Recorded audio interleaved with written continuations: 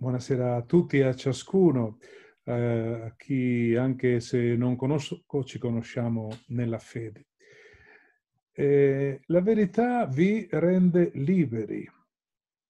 Il titolo di questo incontro contiene una delle intuizioni più suggestive e geniali di Gesù. La verità renderà liberi. La verità non finisce nel narcisismo, non basta se stessa, ha uno scopo lo scopo della libertà, della verità, è la libertà. È il cammino tracciato con un verbo al futuro, vi farà liberi, a indicare che il cammino è un cammino non finito, infinito appunto. Ora volevo fare un'introduzione per aiutarci a capire la frase che è il centro di questa sera. Nella Bibbia la verità non si pone come il vertice massimo, della ricerca dell'uomo, come perfezione da raggiungere, come un insieme di rivelazioni, ma sta nella nostra pianura, cammina e avanza nella carovana dell'umanità, peregrinante e claudicante sui campi della vita. Che cos'è la verità? Allora su questa domanda potremmo fare un festival della filosofia, come è stato fatto a Modena, e raccogliere molte definizioni, ogni pensatore ha la sua, ma nessuno è la bocca della verità. Anzi, voi saprete che la bocca delle verità è soltanto un mascherone di pietra a Roma, nel pronao di Santa Maria di Cosbedin, con file pazienti di turisti che attendono il loro turno per far cosa? Per infilare la mano nella bocca del bassorilievo. Se sei bugiardo, la mano sarà morsa, dice la leggenda. E tutti lo sanno che non c'è niente in quella bocca, che nessuno verrà mai morso, eppure ci vanno non è solo per gioco, non, non soltanto. Forse esprime un'attesa, un desiderio di conoscere qualcosa di più su se stessi. Come era scritto sul frontone del Tempio di Apollo a Delfi, conosci te stesso. Oppure il bisogno di essere confermati da qualcuno, abbiamo bisogno di conferme. Sulla verità, mi piace la definizione data da Mancini, Roberto Mancini, l'amico filosofo, dice la verità è una ricerca dialogante, una ricerca insieme. Oppure l'altra definizione bellissima di Hans Urs von Balthasar, la verità è sinfonica.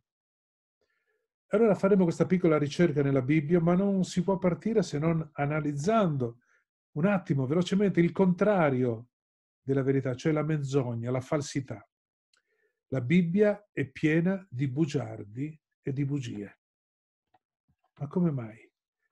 E lo è a partire da Abramo, che per una carestia scende in Egitto a cercare pane e dice alla moglie Sarai, tu sei molto bella, e io dirò che tu sei mia sorella e non mia moglie, altrimenti quegli uomini uccideranno me per avere te e anche tu dirai lo stesso. Allora non solo mente, ma spinge alla menzogna anche Sarai per aver salva la vita e la vede diventare la concubina del faraone. Ed è Abramo, l'uomo della promessa, affidabile, il padre nella fede. Gesù dice Paolo è seme di Abramo e anche noi in Gesù siamo seme di Abramo.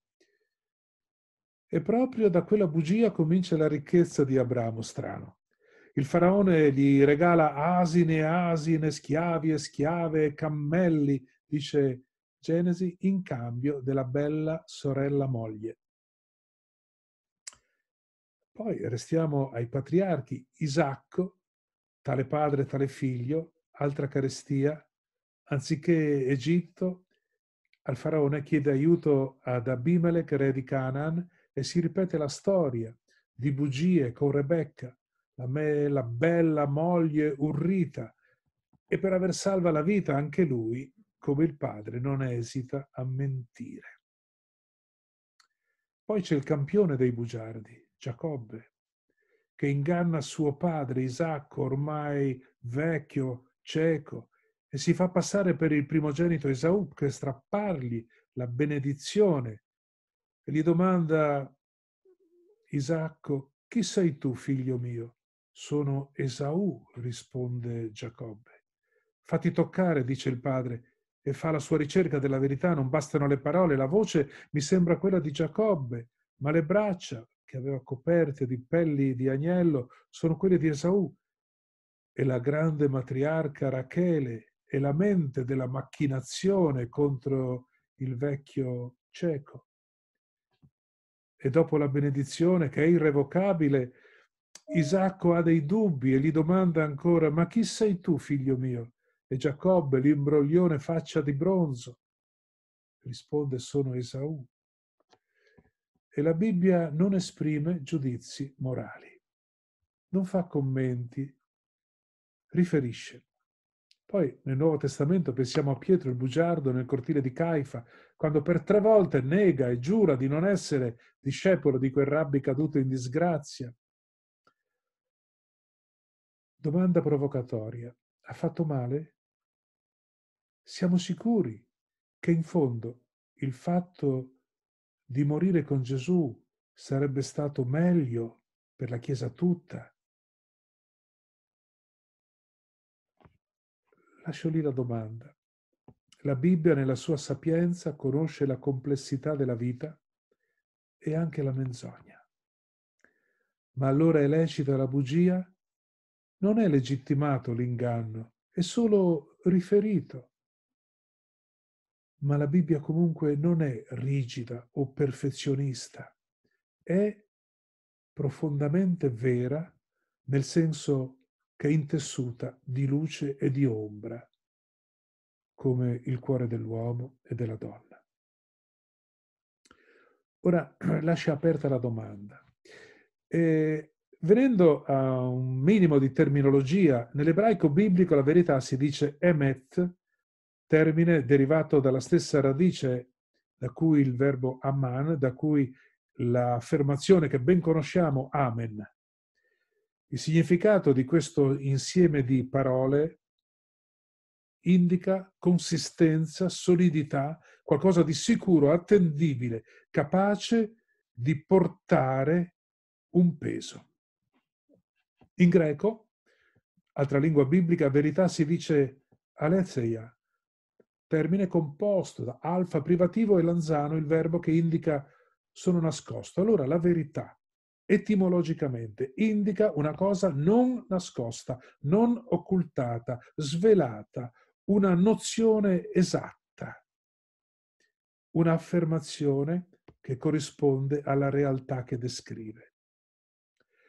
Invece la parola italiana verità deriva dal latino ver veris, che indica la primavera. Verità è ciò che fa quello che fa la primavera.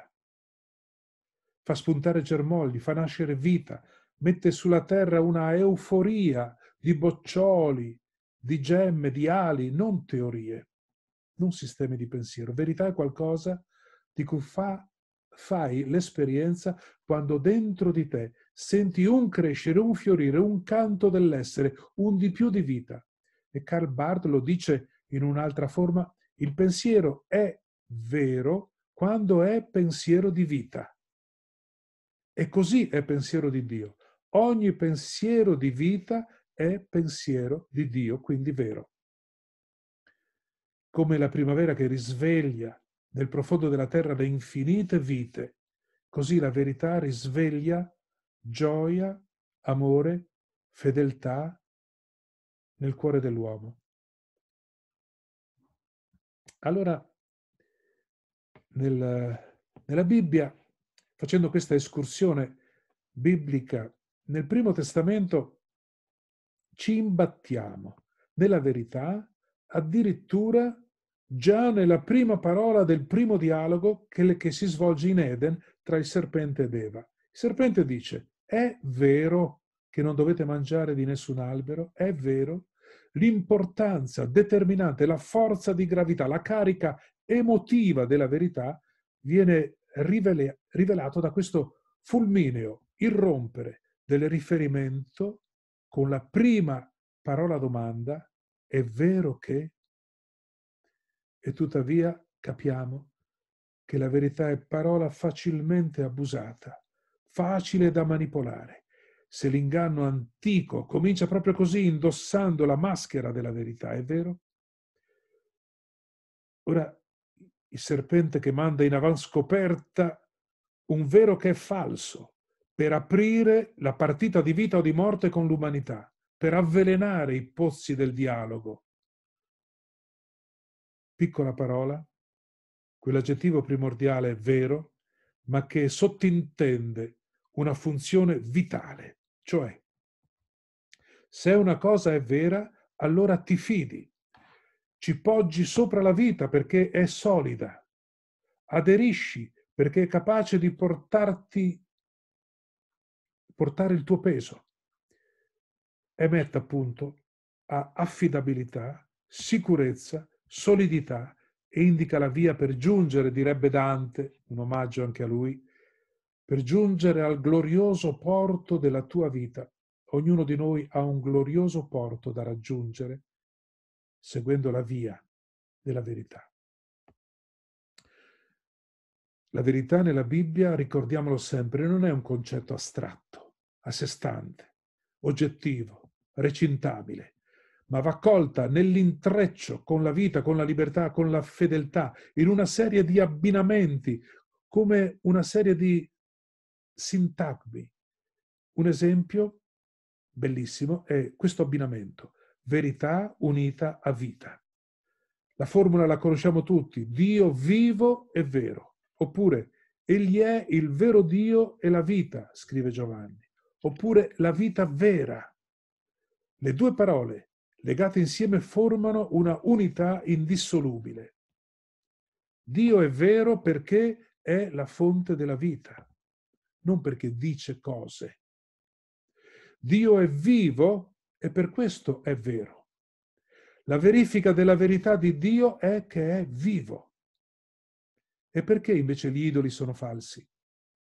Perché hanno orecchie e non odono, hanno bocca e non parlano, hanno mani e non toccano, non hanno vita. Criterio, verifica della verità di uomo, cosa o Dio è la vita. La verità si pesa sulla bilancia della vita. Se ha vita e dona vita, allora è verità. Se non ha vita e non dona vita, allora è falsità. In principio c'è la vita. Ricordo un amico filosofo che mi diceva, lui è non credente, dice di essere un neopagano. Dice, vedi qual è la differenza tra te che sei credente e io che non credo? La differenza è che Gesù anche per me ha detto cose vere, ha detto cose bellissime, ha detto cose geniali. Ma la differenza è che per te Gesù è vivo. Per me no, è morto purtroppo sotto Ponzio Pilato nel 33 Ecco, vedete la differenza dove si posa, non su nozioni, ma sulla vita. E allora la verità è questo legame, abbinamento, collegamento, dialogo.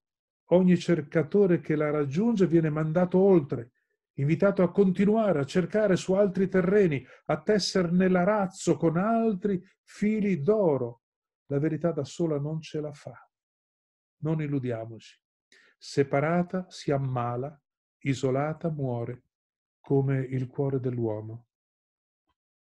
Possiamo ricordare alcuni abbinamenti, per esempio verità e salvezza, shalom, salvezza e sicurezza, shalom ed emet sono i doni di Dio secondo Geremia. È più frequente ancora bontà e fedeltà, che sono i comportamenti di Dio, chesed ed emet. E il Salmo 85, bellissimo, a quel versetto 11-12 in cui canta amore e verità si incontreranno. E poi la verità germoglierà dalla terra, la giustizia si affaccerà dal cielo. Bella, bellissima affermazione, la verità germoglierà dalla terra. Ma come? Ma non viene da non so dove? No, non ha un deposito altrove nel cielo e noi sulla terra dobbiamo tentare non di dare la scalata a qualcosa germogliante nel cielo. La verità è intesa nella Bibbia come un germoglio che cresce sulla terra. Non è il rimbalzo qui tra noi di qualcosa che è altrove. Questo lo pensava Platone. La verità germoglia qui, dentro una storia umana. Non è un fatto ma un farsi continuo, un divenire. Anche attraverso le bugie si fa storia sacra. È l'azione di Dio che la produce nonostante tutto. Per questo la verità è la creazione, la liberazione dall'Egitto, l'incarnazione, l'azione di Dio. La verità però realtà germinante, come lo è l'uomo, come lo è il mondo, l'universo, dice Romano Guardini. E c'è un altro Salmo 72 che dice germoglio è un nome di Dio. Pensate che bello, che fiducia, che primavera. Verità di Dio è il germogliare. Uno dei nomi del Messia è appunto Innon, colui che ha un tronco che ha germogli, non un ramo secco, non uno stecco arido. La verità germoglia, non è già definita, compiuta così com'è, è incamminata come lo sono le nostre vite con la fatica, come quando ascoltano il richiamo stai davanti a Dio in verità e sincerità. Nel primo libro di Samuele 12. L'invito rivolto al credente stai davanti a Dio in verità e la richiesta diversa, che tu sia schietto, integro, retto. L'unica condizione per il perdono è la sincerità del cuore dice il Salmo miserere di Davide, il potente miserere.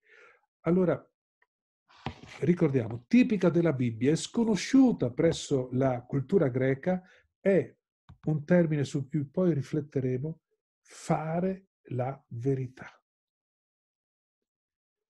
Si capisce allora che la verità non è solo data qui adesso, ma viene dal futuro, da gesti, e da comportamenti che saranno messi in atto da Dio e dall'uomo. La verità è futura, la verità è relazione, la verità non è concetto o astrazione, ma un germoglio da custodire, un avvenimento, un'azione di Dio e vita dell'uomo. Più che conosciuta deve essere messa in atto, più che proclamata deve essere fatta. Ecco, questa è la diversità fondante rispetto alla cultura greca. Nel Nuovo Testamento, allora, veniamo un po' più da vicino al tema, ma tutto questo mi serve per cercare di esprimere un concetto che mi sembra eh, importante. È vero che insomma, questa idea, questo termine verità richiederebbe volumi e volumi noi facciamo una, una, lo sfioriamo appena sui bordi. Per 70 volte nei Vangeli di Gesù c'è una formula rivelatrice, una formula particolare, esclusivamente sua. In verità io vi dico. Formula che non è stata trovata da nessun'altra parte. Che il Vangelo di Giovanni addirittura raddoppia. In verità, in verità vi dico. E in greco, latino, ebraico, aramaico, questa affermazione nei Vangeli suona Amen, Amen. Dove ritroviamo la radice appunto di Emet, verità. La parola Amen, che si è insediata in tutte le nostre liturgie, come un finale un po' automatico alle preghiere, molto distratto, quando non è un respiro di sollievo perché è finita, ma non è lì per ratificare la conclusione di una orazione, esprime un atto di fede, un piccolo, minimo credo, che significa è vero, ci credo, è così, e non già come è stato tradotto così sia, come fosse un augurio, non è un augurio, si tratta di una asserzione, di un atto di fede. Io lo credo, è sicuro, è affidabile è la solida parola su cui appoggio. Allora Gesù poi aggiunge, in verità io vi dico. Mai nessuno aveva osato dire, io, con l'autorità, con la sicurezza di Gesù. Nessuno prima aveva detto io con questa pretesa, con questa forza sicura, questa autorevolezza, senza incrinature.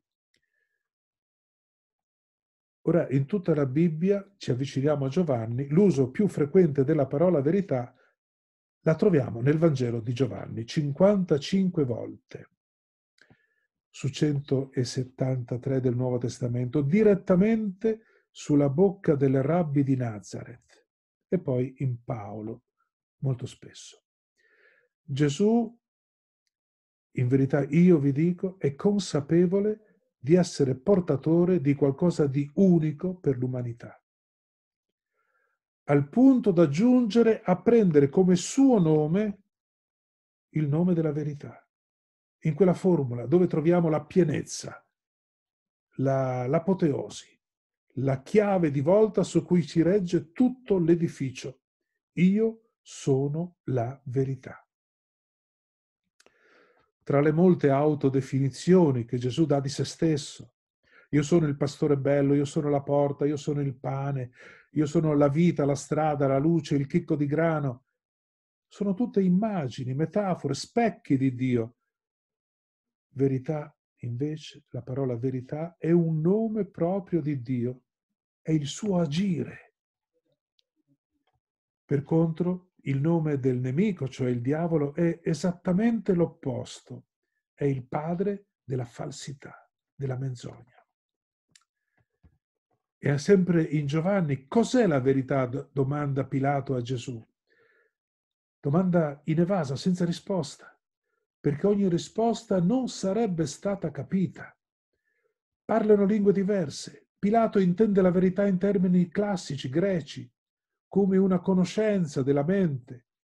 Gesù la intende in termini biblici, come vita. Pilato avrebbe dovuto chiedere non cos'è, ma chi è la verità. Sono io la verità. E cosa vuol dire? Le sue nozioni le sue espressioni verbali. Io, cioè un uomo con le sue azioni e le sue parole, con le sue mani colme di pane e di pesci, con i suoi occhi profondi e dallo sguardo profetico, un uomo che cammina, che guarisce, che accarezza, che siede a tavola, che sdemonizza la vita, che libera, rialza, risuscita, che manda via rinati. La verità è vita in azione, in cui si vede la suprema verità, ovvero quello che Dio fa ed è. E allora noi vediamo che sulla bocca di Gesù la verità è anche veracità. Le sue parole sono vere, non parla per sentito dire, perché credibili, solide, parole diventate in lui carne e sangue, reggono il peso e le contestazioni del vivere perché messaggio e messaggero coincidono. Lui dice ciò che è ed è ciò che dice. Ma la verità è ciò che arde. Sono mani e parole e cuori che ardono. Sono le parole diventate ardenti, diventate tua carne e tuo sangue. Solo quelle sono vere non quelle copiate, non quelle tirate fuori dal taschino, ma strappate dalle viscere, non quelle come etichette esatte incollate su di una lattina a elencarne i contenuti. La definizione che corrisponde alla realtà non è questa. La verità, secondo la Bibbia, non è un concetto giusto tra altri concetti sbagliati, ma una vita giusta tra molte vite inesatte. E non è venuto il rabbi di Nazareth a portare nuove teorie religiose più evolute. È venuto a portare il dono di vita abbondante. Questa è la sua verità della sua missione. L'aspirazione a sempre più grande vita, che in fondo si chiama la zeosis, dicono i padri greci, cioè la divinizzazione, perché la mia vita sia in voi il dono più straordinario che ci ha lasciato non è una conoscenza più penetrante del mistero, ma la sua vita, la vita indistruttibile. Chi vive una vita come la sua, buona, bella, beata, vive una vita di una qualità indistruttibile, capace di attraversare la morte, di attraversare l'eternità. Allora, ecco, il Vangelo di Giovanni supera benissimo la nozione greca di aletheia come corrispondenza di ciò che dice alla realtà delle cose. Supera anche le mete del, nuovo, del Vecchio Testamento come sicurezza e shalom della storia e crea una nuova visione. Cristo è la verità. La verità è Cristo.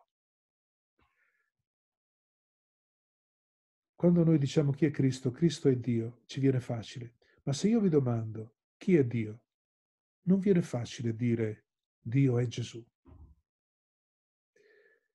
Io sono la via, la verità, la vita, tre parole e la verità sta in mezzo, tra una strada, la via che indica un metodo, un percorso e la vita che è il fine, il glorioso porto.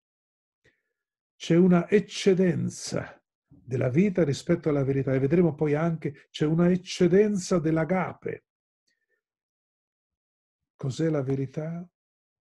Ecco, Pilato la considera una cosa oggettiva e non può capire la verità con questo carattere personale agito nella storia, che la verità suprema si rivela nei gesti, nelle parole e soprattutto nella croce e Pasqua di Gesù la verità là sul Calvario, la verità di Dio è amare da morire, amarci da morirne. La verità della vita di Gesù, la sua croce e risurrezione hanno un ruolo determinante nel mio destino, nel destino di ciascuno di noi. E il discepolo poi, spinto dallo Spirito ad attuare la verità, la verità di quella vita di Gesù nella mia vita, essere prolungamento di quella vita. Non sono più io che vivo, è Cristo che vive in me, dice Paolo.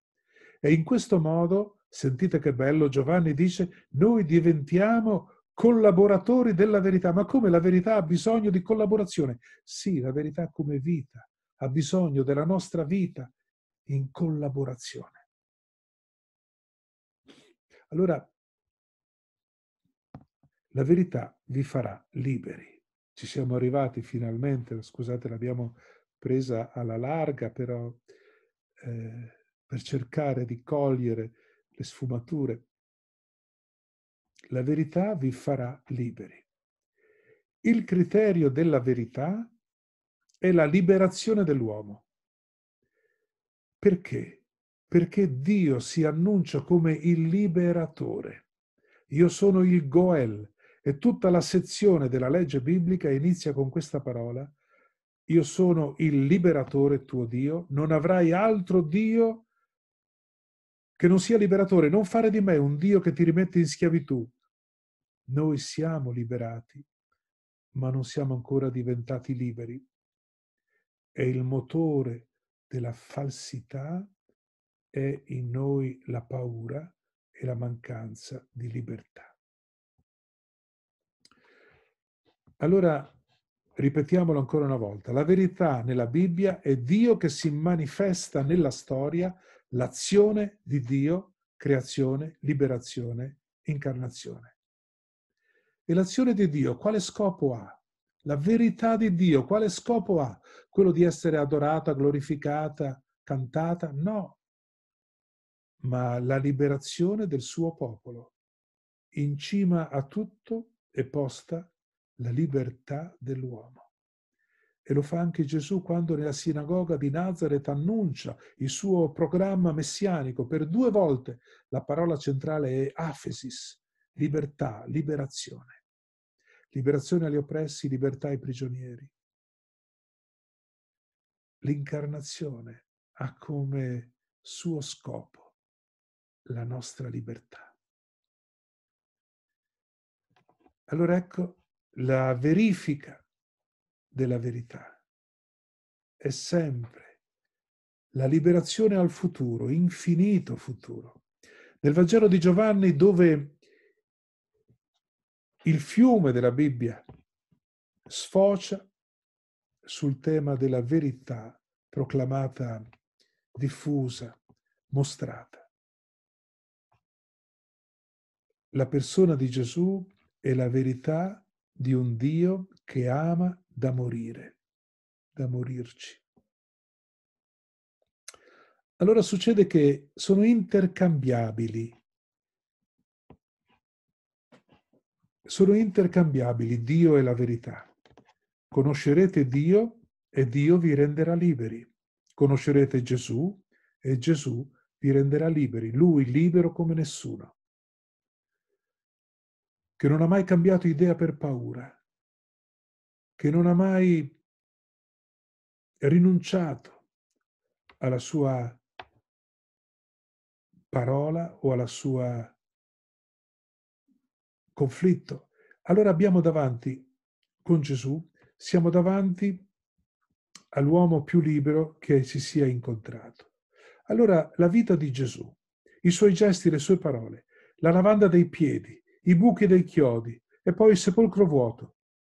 Questa è per Giovanni la verità che ci ha reso liberi, cioè chi vive come ha vissuto lui nel dono della, veri- della vita per gli altri, costui diventa libero.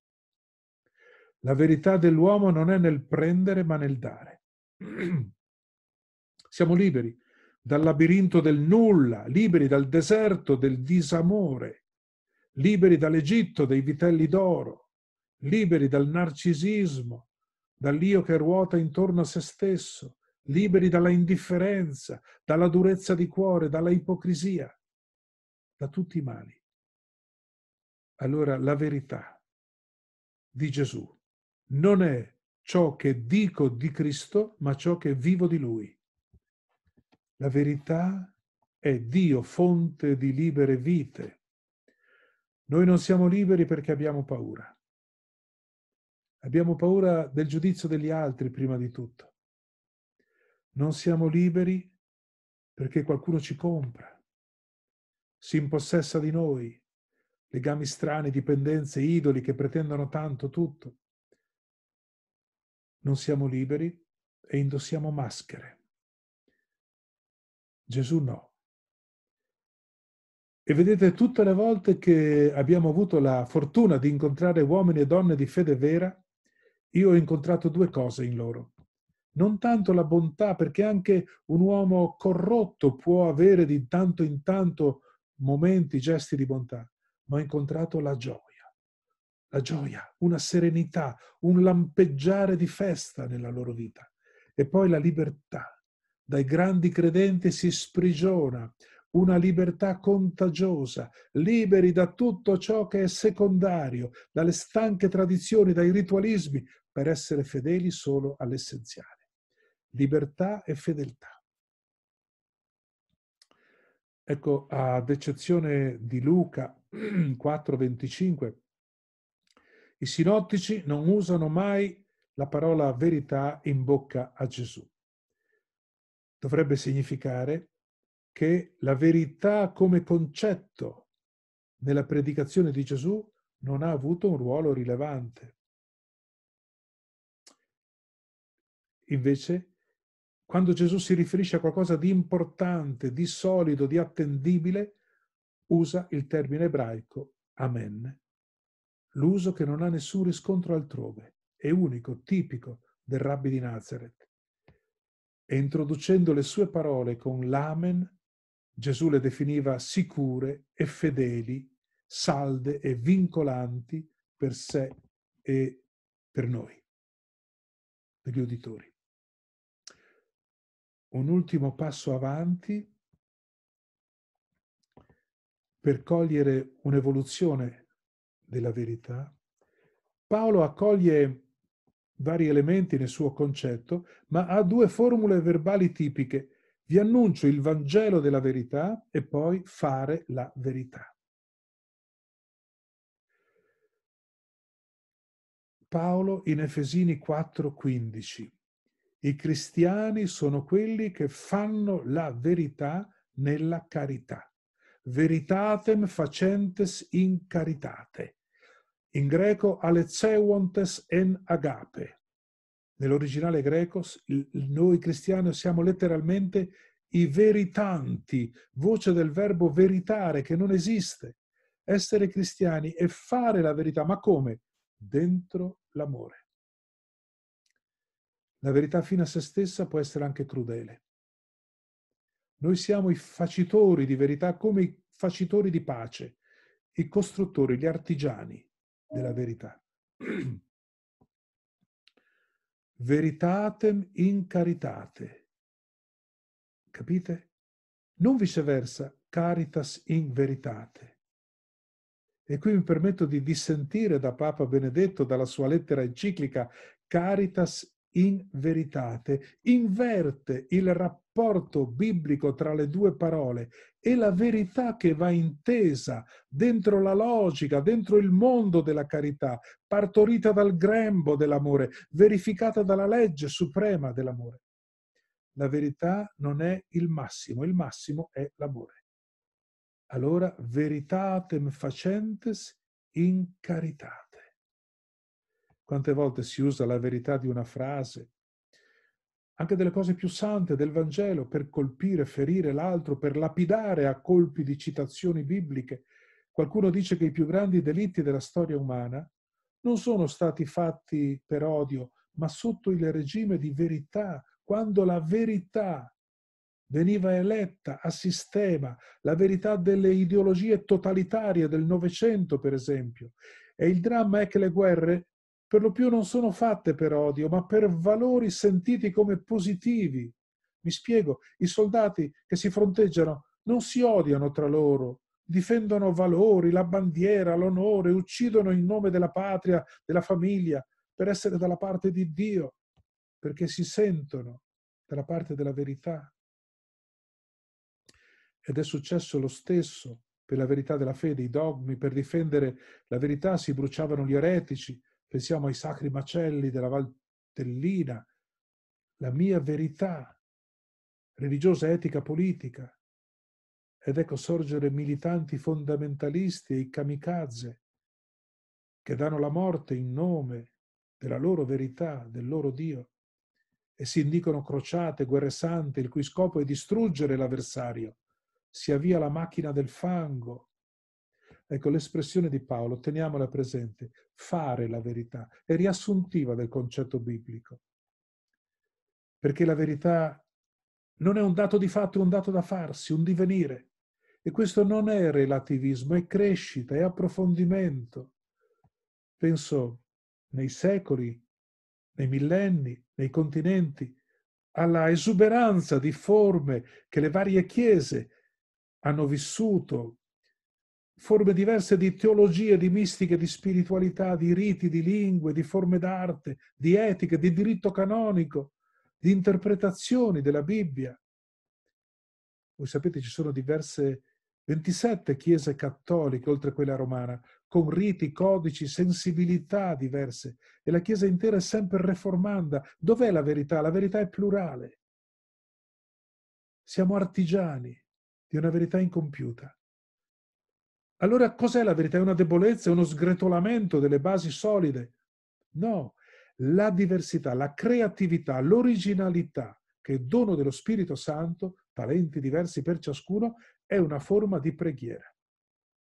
La tua originalità è già una forma di preghiera.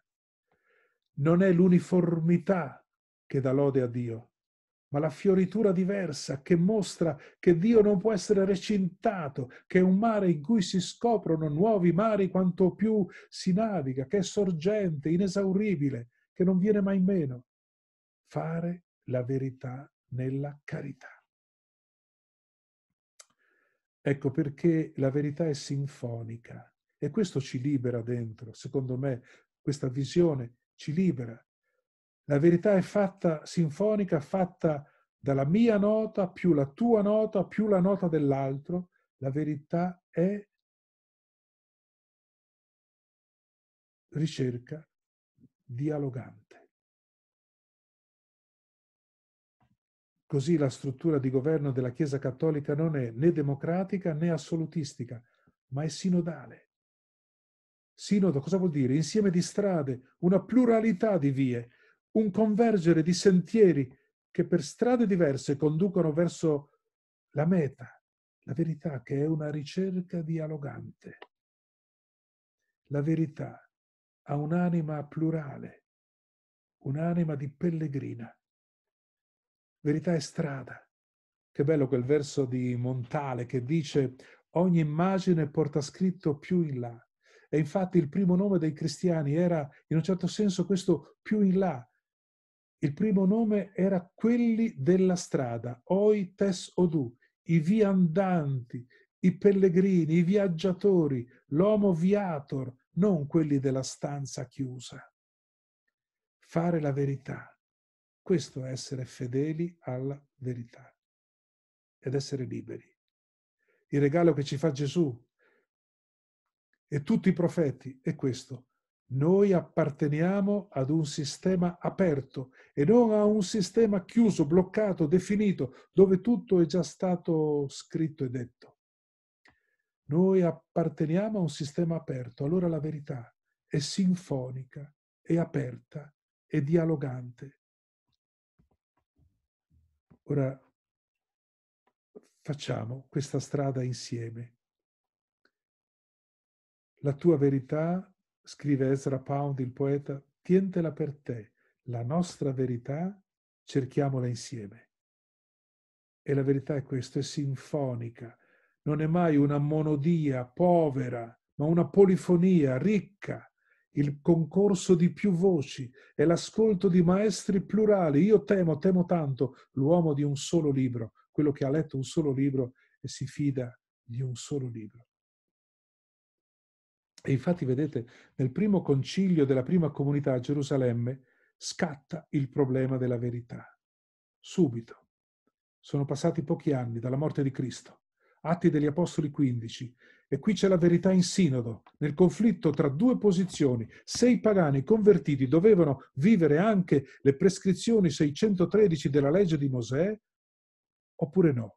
E si raggiunge un accordo tra i giudeo-cristiani e gli altri. È interessante una cosa, che le clausole, clausole che allora risultavano determinanti, obbligatorie, oggi non significano più niente non sono più vere, cioè non sono più da vivere. Dicono solo si ordini loro, ai pagani convertiti, di astenersi dal mangiare carne sacrificata agli idoli. E dove mai oggi? Dalle unioni illegittime, questo sì, rimane, dagli animali soffocati e dal sangue, che non esiste più. Decisioni del primo concilio, dimostratesi nel tempo senza verità oggettiva specchio di una eredità, di una tradizione, di una sensibilità temporanea, locali. Da subito nella storia vediamo che la verità è incamminata, è sinfonica, è una strada dialogante, una ricerca in cammino, sinodo. E anche in conflitto talvolta perché Paolo lo dice chiaro, mi opposi a Pietro a viso aperto. Ora credo che una delle rivoluzioni pastorali più belle di Papa Francesco è l'idea dell'accompagnamento, non del versare la verità all'orecchio col cucchiaino delle, alle persone. L'accompagnamento, cioè il pastore che accompagna, che cammina a fianco, che rallenta il passo su quello dei suoi amici, non imponendo verità teoriche dall'alto di un pulpito non impartendo direttive dalla cattedra, non dando i voti al comportamento etico delle persone, ma camminando insieme, con i ritmi magari claudicanti delle persone, cercando insieme, dialogando insieme. La pastorale dell'accompagnamento è la rivoluzione della verità come ricerca in dialogo. Suggerisce anche l'umiltà dei piccoli passi. Non domanda perfezioni, no, neanche Gesù, ma progressi. Il sistema della perfezione ha fatto tanti danni. La verità non è perfezione, è cammino, un errore di meno di ieri. Dio non vuole che per accendere una lampada, simbolo della verità, si spenga un cuore. Allora ecco, la verità non può essere imposta. La verità ha le sue ore, le conosce, le sa attendere, le ricerca insieme, a differenza di qualche impaziente paladino della verità la verità ha tutti i diritti anziché il diritto, fuorché il diritto di imporsi e di essere intollerante. La mia conclusione allora, la verità vi renderà liberi. Dire, vivere la verità ci rende liberi da tutto ciò che è secondario, da maschere e da paure, e ci rende veraci. La veracità è uno dei contenuti di Aletheia di Emet. La vita nella realtà di Dio esige dall'uomo la veracità, che significa essere leali, onesti, schietti con sé, con gli altri uomini, con Dio. Questo secolo appena trascorso ha dato un impulso enorme alla ricerca di veracità nelle nostre vite, di autenticità, contro le ipocrisie dell'epoca vittoriana, contro il perbenismo dell'epoca borghese. E lo ha fatto in vari campi della vita, nella letteratura, nel cinema, nel teatro, nell'arte, nella psicologia, nella vita privata, nella vita pubblica. Ricordiamo tutti il grande Jung che dice ci ha insegnato che la vera, veracità con noi stessi, anche con le proprie ombre nel profondo, è necessaria perché la persona non sia la maschera del proprio io. Noi rischiamo di essere la maschera del nostro io. Anche Gesù usa lo stesso aggettivo, per esempio nel dialogo con la Samaritana, bellissimo quando per due volte afferma a quella donna, hai detto il vero, il vero. La vita della donna è contorta, ha avuto cinque mariti e il sesto non è neanche un marito, ma il suo cuore è diritto. C'è veracità nelle sue parole ed è sottolineando questo, sottolineando la sincerità del cuore, che Gesù vede nella donna dai cinque mariti la possibilità di uscire dal deserto dell'amore dalla vita assetata e sbagliata. È il dono di quell'acqua che diventa sorgente, meraviglioso dono, e diventa possibile a partire da un semplice scampolo di veracità, di verità intesa come veracità, dalla verità che lei pronuncia sulla propria vita sbagliata, prende avvio una vita esatta. Le ferite diventano feritoie. La verità non cerca perfezioni, ma progressi. Allora essere veraci nei confronti degli altri non significa sbattergli in faccia la verità. Significa fare la verità nell'amore, con amore, per mezzo dell'amore sono i fanatici che rincorrono il loro idolo di verità, l'idolo feroce, verità costi quel che costi, seppellendo ogni rapporto personale, seppellendo l'amore sotto la verità. La nostra veracità significa impegnarci a vivere per la libertà e la liberazione nostra e degli altri, con le parole la vita e la morte di Gesù. Siamo veri? La verifica è se siamo liberi. Perciò io e voi, tutti i cristiani, possono pregare così.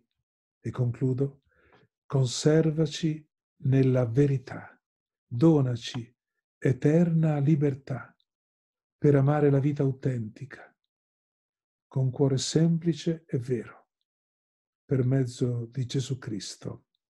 Amen.